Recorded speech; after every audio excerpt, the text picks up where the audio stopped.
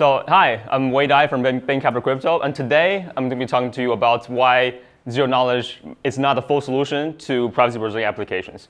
I'm going to tell you, uh, you know, the, the reason why and, and the solutions going forward, right?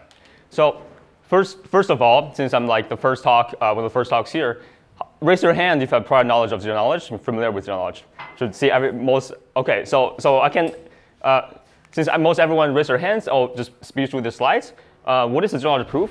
Well, it's, pro, it's a way for a prover to convince a verifier about, about a statement succinctly, right? So the prover here, uh, uh, prover verifier will take in some in common input uh, circuit C, and um, uh, the prover will prove, produce a proof to the verifier that is short uh, that verifier can, uh, can, can, verify in, you know, in, in, time that is independent of, of the circuit C, right? So, uh, and, and so typical provers are, you know, mobile uh, clients, right? And, and typical verifiers are like chain applications like EVM um, contracts. And, you know, there's certain properties we want, such as succinctness and non-activity, which I have shown in this diagram here, right? And there's other uh, properties such as uh, transparency, transparency and universality, which means that uh, you can change uh, the circuit without having to run additional trusted setup, right? And there's additional security properties such as completeness, uh, zero knowledge, and knowledge soundness, which I will not uh, go into detail here. And of course, uh, we have seen an explosion of, of works, uh, you know, along, along these lines because of you know academic works that advance the state of the arts as well as industry efforts, right? And second question. Do you think that zero knowledge will solve all our privacy problems uh, you know, for blockchain applications? Raise your hand if you think yes. okay, good. Okay, all right, all right. So, all right, so, all right. Uh, of course, uh, you know, I think the answer is no, and, and I think it requires uh, a careful reasoning, right? Why zero knowledge is it's not the single solution to our privacy problems. And so here is uh, you know, the, the outline of, of, the talk. So, so first, we'll, we'll actually go through uh, the reasoning on why zero knowledge uh, you know, is actually in contention with on-chain composability and on-chain share, share state. Right? And we'll see, actually, you don't need to use zero knowledge for the, for the full state transition. And you can structure your application so that you use transparent computation for your on-chain part, right? Uh, you know, while sacrificing privacy for that portion. And then for the second part, we're going to talk talking about how FHE can actually help with the part that ZK does not do, which is confidentiality for on-chain states. Okay. And at the end, I'm going to uh, show you uh, a kind of a way forward, maybe in like you know five, uh, uh, three to five years, what we can have if we can program computation between zero knowledge, trans you know, transparent computation, and FHE. Okay, so let's get started. So first, uh, you know, what is a computation? So in this talk, a computation is just going to be a state machine, right? So it, keeps some states, and you will, you will take in inputs, and you will update the states, right? And uh, you know, typical state machines are, you know, blockchains are state machines. Here, a block is uh, an input, right? And, and the blockchain is essentially the chain of states, right? Uh, and or, or, actually, each smart contract application can be seen as uh, a state machine, right? So each call to the smart contract is an input, and uh, responding to the input, the smart contract will update its states. So state machine is really just you know, a nice uh, abstraction for most applications that, that, we know of that keep states. So uh, how would you do you know, privacy for state machines generally, well, you could do zero knowledge updates to state machines, right? And so this is actually what is done, uh, you know, with Zexe, uh, or, you know, in the company like Aleo and Mina, where uh, update to state machine is, is done via zero knowledge, where the zero knowledge proof will um, will say I have some states, uh, starting states, I have some ending states, and I have an input that actually make the state machine go from the starting state to the ending state, right? And, and then this entire package of state update is submitted to chain, and the chain will verify the proof and then uh, modify the state. So uh, you know, this is OK, but you know, what's the problem with this? The problem is, of course, that there's you know, race conditions that uh, arise when you do such a state transition.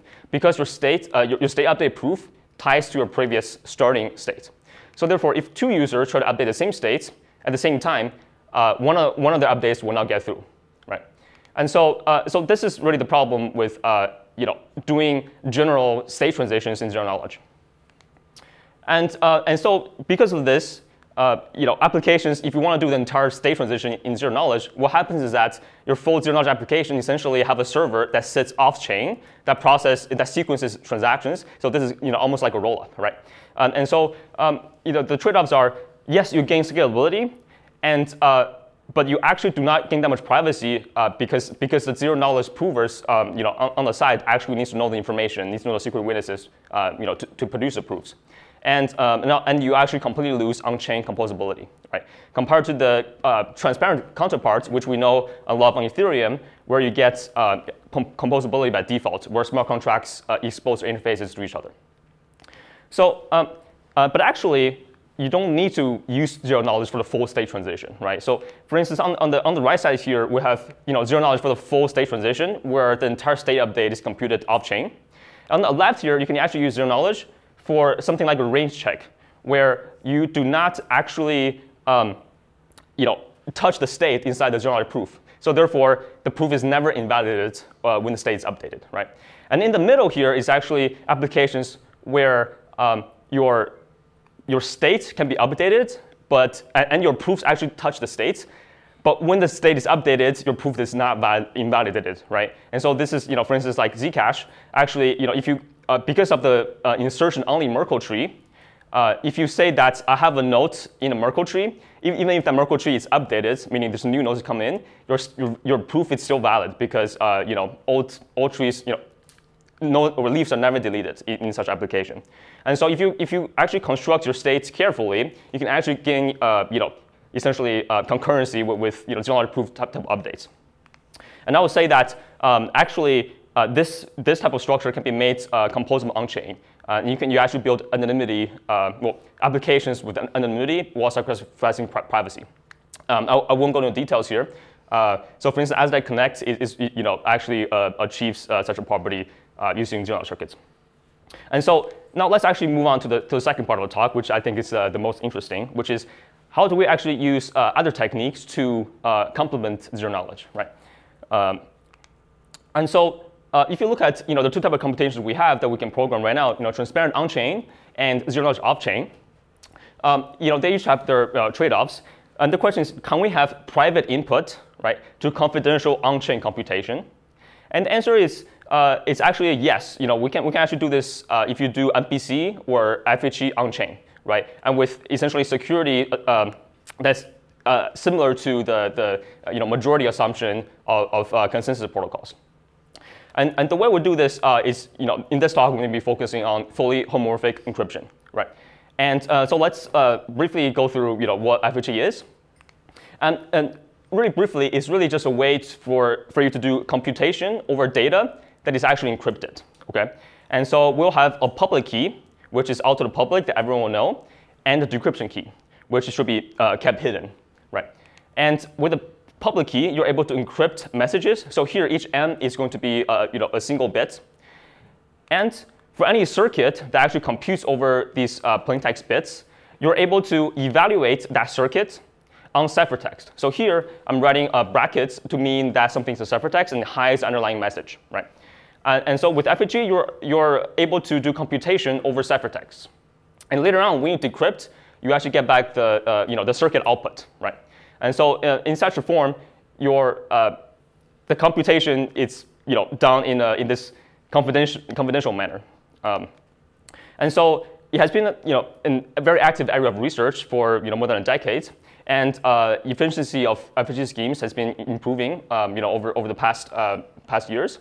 And uh, the kind of current state of the art, libraries can support uh, about you know, couple of thousand uh, binary FHE operations uh, per second. Um, and so, uh, but here, you know, there's still a problem, right? Because if you hold the decryption key, then you can see the data, right? And there's a single point of failure. So whoever holds the decryption key gets to see all the data that's encrypted ever to the public key. So how do we fix that? Well, the solution is uh, threshold cryptography, right? And so with threshold cryptography, you want to share the authority with a secret among a group of servers so that uh, if k of them, you know, usually say two thirds, cooperate, then you get uh, essentially all the liveness guarantees. But you know, as long as no more than k minus one of them collude, then um, you get essentially security. Okay, uh, and so these are um, really useful for, for blockchains uh, when you set the threshold to be around uh, you know two thirds. And, uh, and indeed, in recent years, there's been numerous works using threshold cryptography in different settings.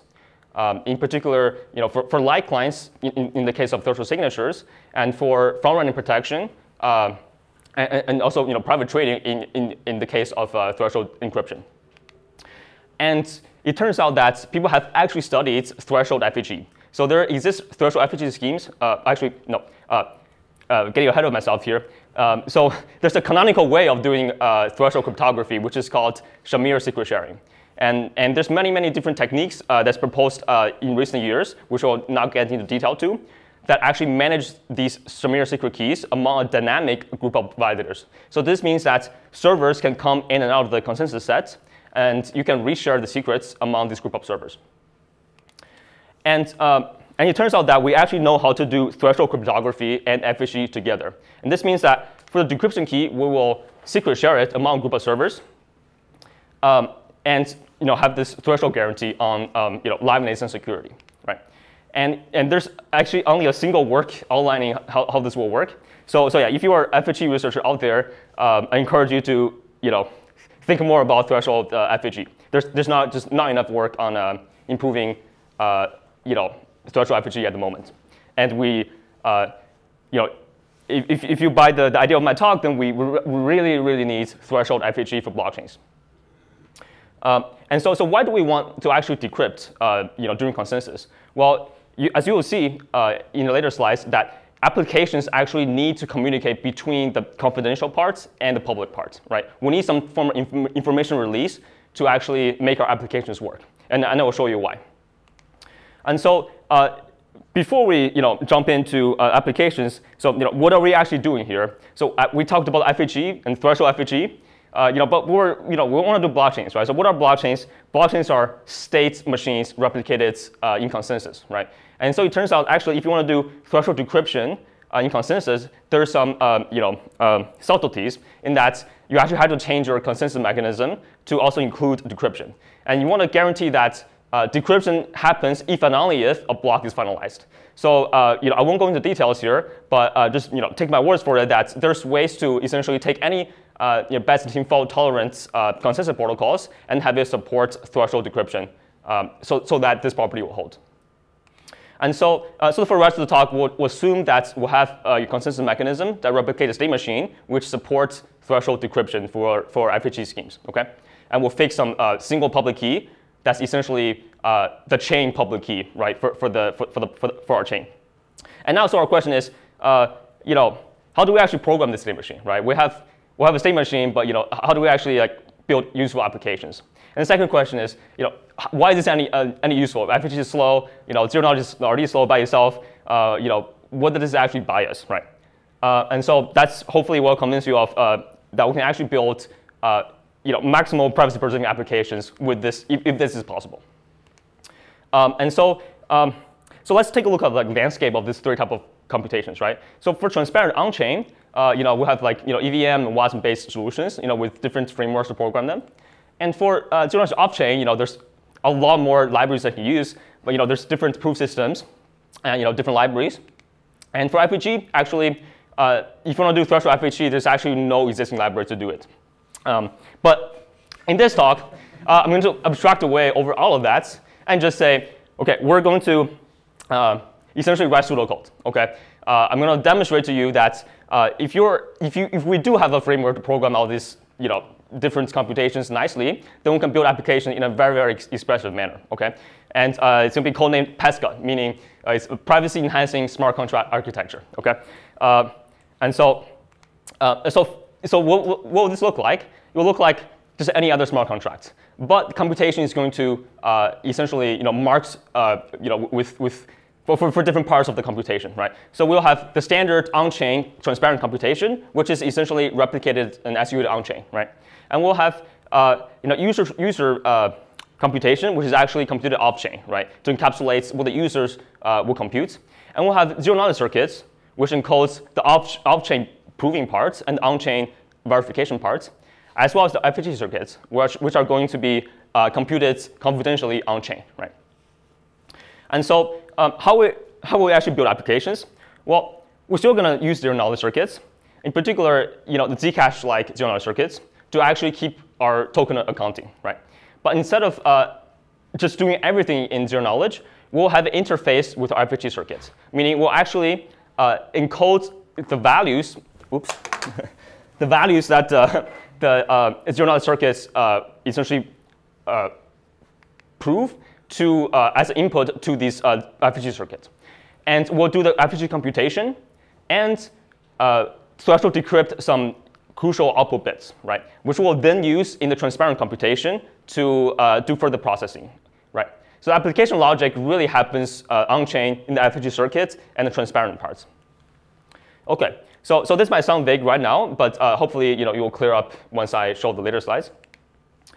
Uh, and so the idea is, uh, you know, for zero knowledge circuits, we're going to use Zcash. In this particular case, we're going to use the, you know, the most recent edition of Zcash called Orchard, and change the value commitment to be a value encryption that's under the threshold uh, FHE public key. Okay, so we're going to keep a Merkle tree and a nullifier set. So if you're familiar with Zcash, this is exactly how, how Zcash works. And uh, the circuit will make the following modification. So you, will say that, you know, the circuit will say, I have some net value change that uh, you know, I have spent some nodes and created some nodes. And I have, I have encrypted this net value change uh, against this threshold uh, FHE key, right? And, and, and it's encoded in some transaction dot encrypted value, right? And, um, and on the processing part, uh, you know, we simply verify that the genealogy proof is constructed correctly and you know, do some additional processing, right? So this process will actually, is actually does not balance itself. So, so like, you know, there's a net value change that's not accounted for. But, but, but we'll essentially balance out the, the encrypted value inside the FHE circuit. Um, and you know, of course, there's a way to generate uh, these transactions. And, and so, so this, uh, this type of contract will allow us to have a Zcash type uh, you know, shielded token pool to interact with the FHE uh, circuit-based application. So, so really quickly, uh, you know, what is the first application that, that we could build? Well, one, the, one example is you know, constant function market makers, right? And, and so these are like really simple markets which match uh, you know, buyers and sellers to liquidity providers, right? And it's a mechanism that's uh, essentially very, very simple. It only keeps track of two numbers, which is the reserve of um, uh, amounts in you know, the asset A and the asset B, right, of, of the liquidity pool. And there's some trading function that's uh, actually very simple. In, in this case, you know, in this case of Uniswap, it's actually just uh, the product of A and B. And so uh, what do we mean by privacy in this case? In this case, uh, we actually want to hide uh, mostly all the information, right? So both the, uh, the, the tr the trader identity and amounts that, you know, we want to hide, right? So it's actually very, very hard to hide the trade amount because it actually reveals, uh, you know, what, uh, so, so the, if you reveal the, the spot price, it actually reveals where your trade amount is. So, so therefore, we, you know, we, we would like to actually release the spot price programmatically so to, to hide um, the, the trading price essentially you know, for arbitrarily long. And so, uh, so let's look at how, how, to actually build this. So we're going to use the previous contract that we have shown, which is you know, essentially a modification of Zcash. And we're going to keep uh, FHE state, which will encode these two, two numbers, in, uh, encoding your states, right? And here is the FHE circuit. It's, it's really, really simple. It just simply computes the uh, CFMM trading function, which is just a multiplication and comparison and setting output bit. So this output bit zero, 1 or 0 will denote whether the trade have gone through or not, right? So it simply checks, checks the you know, validity check and either update the states and outputs 1, or it does not update the states and output 0. Okay? Uh, and so how do we uh, interface with this? So we'll have some additional transparent computation that will interface uh, with this FHE circuit. You will first process uh, the funding transaction, right? So the funding transaction is, uh, you know, you want to swap some, some Ethereum to USDC. You actually uh, spend your Ethereum first, regardless of whether your trade is valid or not. And the user will actually construct both a refund transaction, right, that refunds the, the, the, you know, the, the Ethereum, and you will construct also an, a, a payout transaction, which actually pays out the USDC. And inside the FHE circuit, you will actually compute whether your trade is valid or not, right? And depending on whether it's valid or not, uh, you will actually uh, construct the refund or, or the output. Okay, so it seems that I might be a bit short on time. So as it turns out, there's actually subtleties when you want to do this with you know FHE states. There's actually attacks where an attacker can take a FHE state uh, and copy it to a, an attacker contract and attempt to decrypt everything, right? So you need to like uh, kind of prevent this type of attacks, and there's ways to mitigate this by essentially saying that every single FHE state and FHE input must be uh, accompanied by a zero-knowledge proof of knowledge uh, that the user actually knows what the state is. Uh, that's tied to each contract. Okay, uh, so you know there's a way to do this essentially with zero-knowledge proof, right? and so. Um, uh, and the last application I'll mention is uh, auctions, right? So uh, we know what auctions are.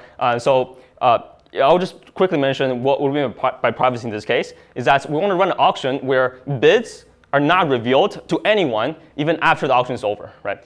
Uh, and, and, this is uh, traditionally not really thought about.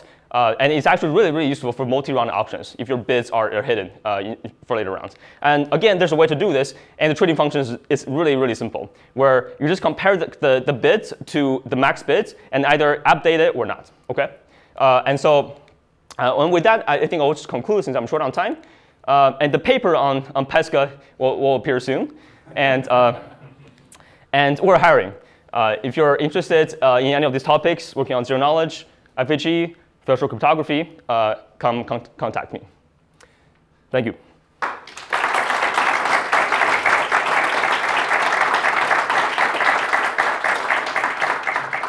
Perfect. So there's time for five, five minutes for Q&A before uh, we take the first break. Yeah. Yeah, two quick questions.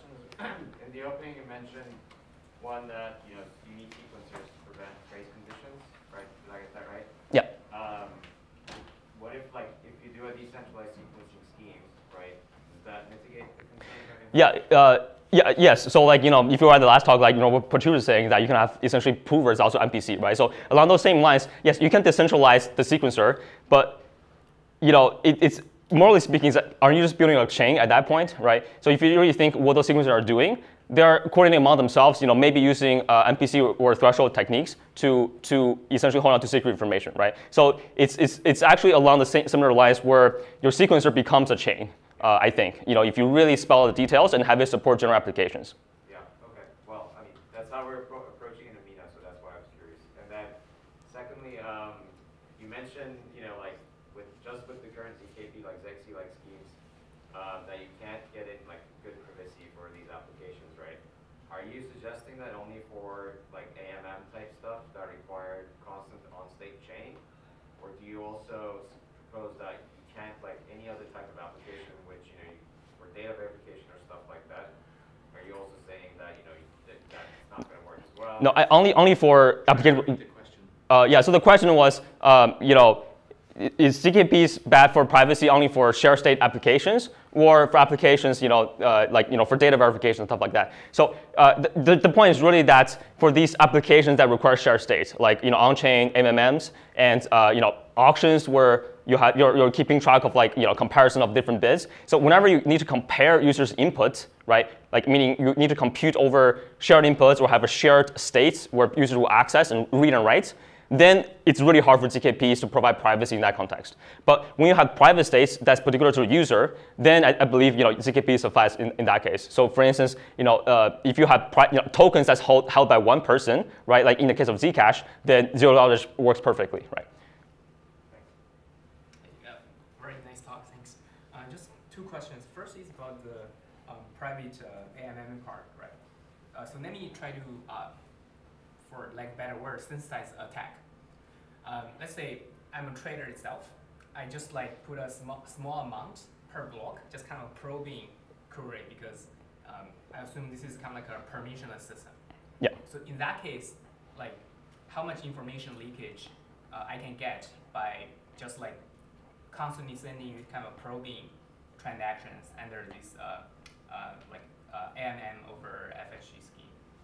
Um, I believe you know, it depends on how you design it, right? So yeah, it is definitely possible that if you send a transaction, if it goes through, you know, you know the price is above, you know, or maybe below a certain threshold, and if it does not, then uh, uh, you know, you know, you, you, know, essentially you gain a, a binary information of, of, the state, right? Um, and so uh, the it actually turns out for these AMMs, you actually want to release the state periodically because you know, you want user to be able to trade. So if you have no idea what the spot price is, you cannot trade. So I think, uh, so this, I think more uh, along the question of like mechanism design, you want to release price soon enough so that users can actually trade against it, but uh, not too soon to lose privacy, but also soon enough to, so, so that people don't probe, their, probe the uh, spot price themselves. Right.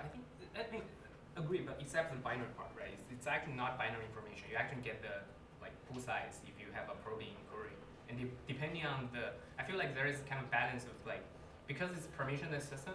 I mean, pre- presumably you need to pay more, right? Because you need to trade itself to do this kind of a probe inquiry, right? But I think still, um, I, I just find it's kind of hard to like quantify the information leakage you can get from these kind of uh, probe inquiries. Right, right. So the question is, you know, what exactly is the probing query uh, leakage for the information that you gain? In this case, for the construction I've shown here, for actual trade, it's actually binary information. It's either you went through it or not, right? So when you construct the trade, you need to actually construct the exact uh, trading price you're, you're, you're asking. Uh, and so if the spot price is below that, you'll get executed. If it's not, then you will not.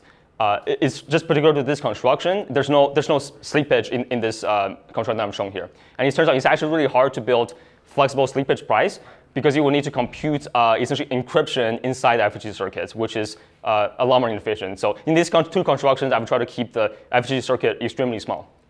Um, sorry, like Okay. quick, quick second question. Is there a way that we can, using not full F- FHE, just like some homomorphic crypto uh, primitives to get a relatively kind of like a performance version of this region? Yeah, yeah. So I think uh, so you can actually net out trades with just uh, you know partially homomorphic encryption uh, by simply aggregating trades, and this is uh, what uh, Penumbra does, for instance. And I think I'm out of time, so with that I'll conclude. That's it. Thanks. Thanks, Wei.